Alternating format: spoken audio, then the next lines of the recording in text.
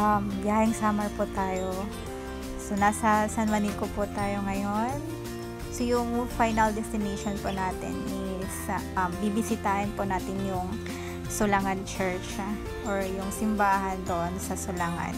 Kung saan um, itong church na to is sinasabing miraculous because maraming nagpupunta doon, especially yung mga persons or yung mga tao na um, magti-take ng exams or board exams na tapos pupunta sila doon to pray na uh, makapasa sila. And uh, also, isa ako doon.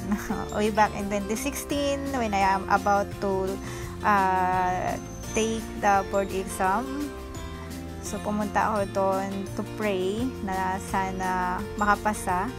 And after 5 years, uh, yan guys, going there again to give thanks. Ayan guys. So, malapit na po tayo sa peak or sa summit ng San Juanico Bridge. Ayan, may nag-overtake kahit uh, solid lines. 'Di ba bawal 'yun?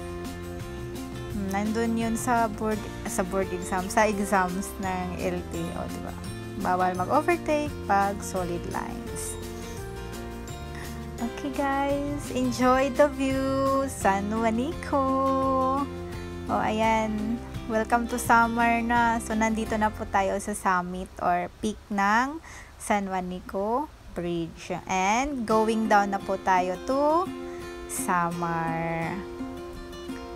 Ayan guys, pababa na po tayo to Samar part. So kanina was Tacloban tapos ngayon pababa na ng Samar. So yung gamit pala namin na sasakyan guys is yung bago namin nabili na um, espresso. Grabe, ang lakas talaga ng aircon niya. Ang lakas ng hatak.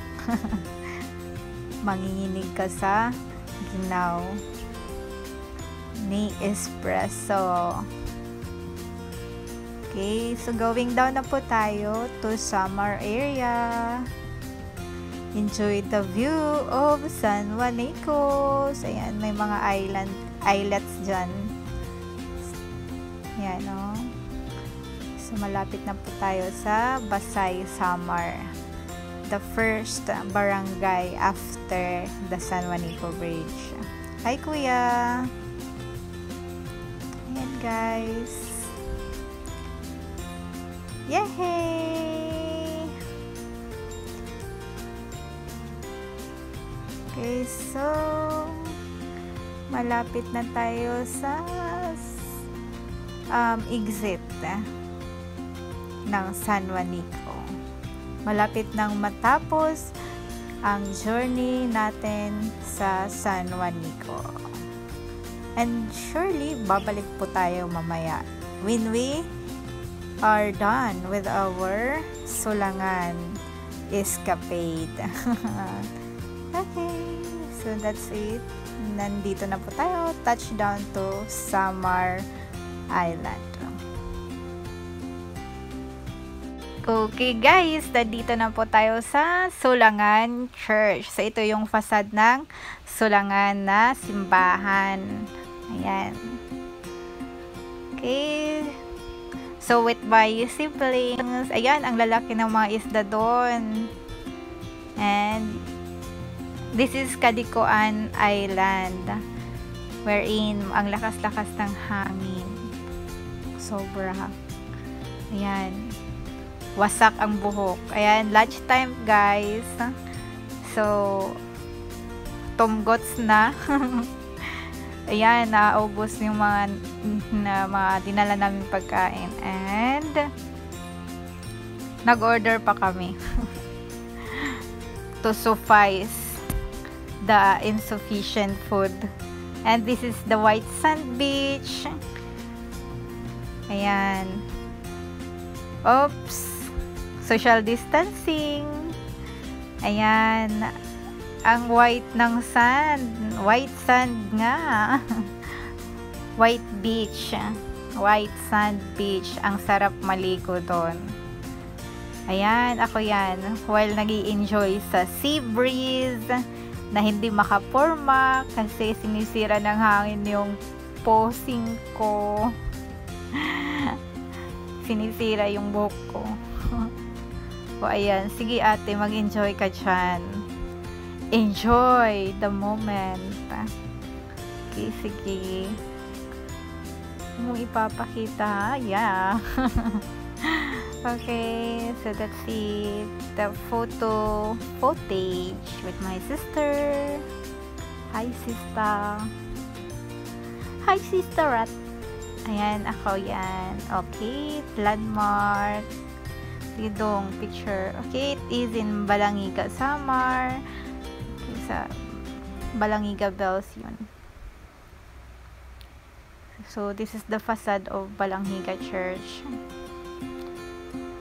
So, ito naman yung mga show nung Balanghiga Massacre. So, ito yung mga list ng mga uh, involved dun sa massacre.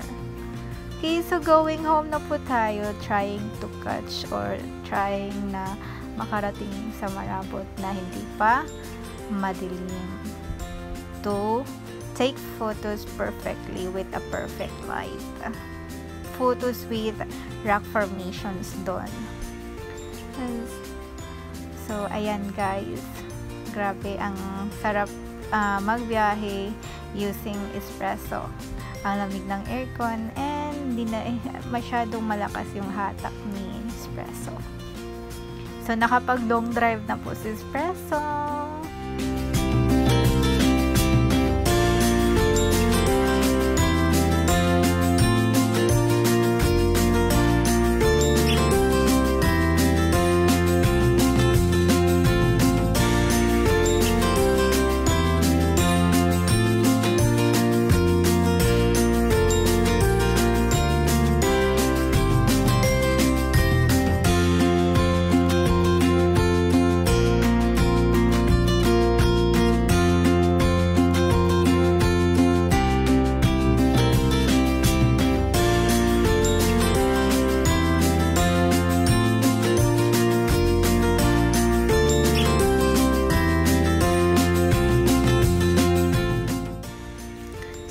Guys, nakikita na namin yung mga rock formation.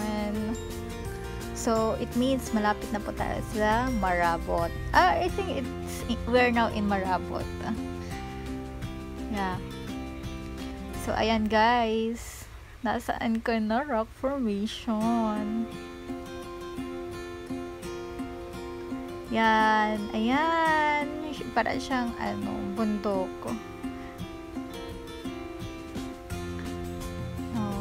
Ayan. Okay, that is one rock formation. Ayan. So, nandito na po tayo sa mga rock formations. Marabot Samar.